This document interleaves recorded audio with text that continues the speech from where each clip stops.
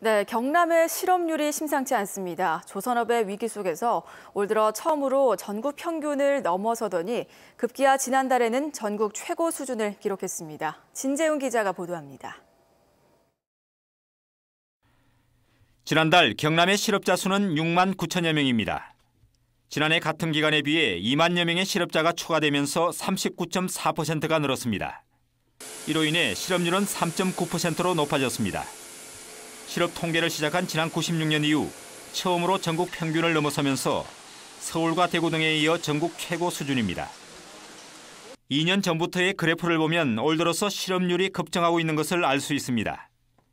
이는 제조업의 부진, 특히 조선업의 극심한 불황 탓으로 분석됩니다. 대우조선해양과 삼성중공업, 그리고 STX 등 조선 빅4의 부진으로 경남의 실업률 상승폭은 전국에서 가장 컸습니다. 전국의 거의 50% 정도라고 봐집니다.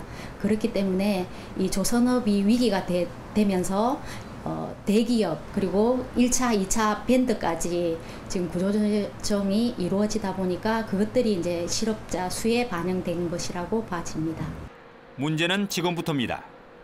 조선업의 대량 구조조정에 따른 대량 실업의 우려가 점점 현실화되고 있는 것입니다.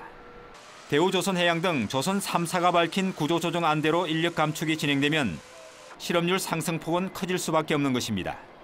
기계와 조선 산업을 바탕으로 한국 경제를 이끌었던 경남 지역의 제조업이 휘청거리면서 대량 실업의 공포가 점차 현실화되고 있는 분위기입니다.